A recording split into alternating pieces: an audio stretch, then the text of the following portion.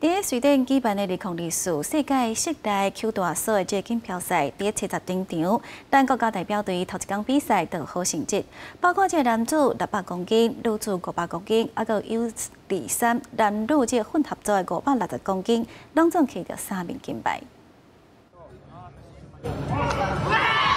在盘比赛开始考验一下，咱的代表队马上压起身体，稳住重心，在稳定的节奏之下，慢慢向后边游。虽然对手中国队拼命抵抗，啊，毋过佮安怎出来，就是无法度逆转。咱的代表队把握机会，加紧节奏，成功提成人组金标女子五百公斤两级的冠军。从学校考完试以后。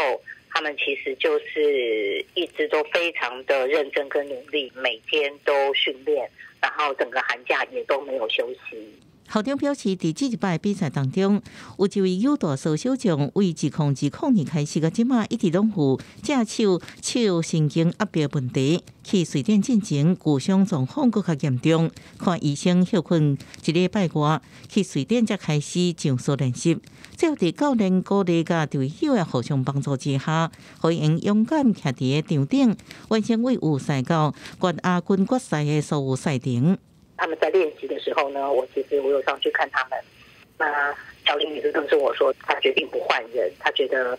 孩子还是稍微休息一下，他觉得他还是可以突破、克服他自己心中的障碍，还是可以参加比赛。夺提成人组锦标女子五百公斤量级冠军，代表队伫男子组六百公斤加 U 二三男女混合组五百六十公斤项目也拢顺利提金牌。帅气，咱的代表队伫当地时间十一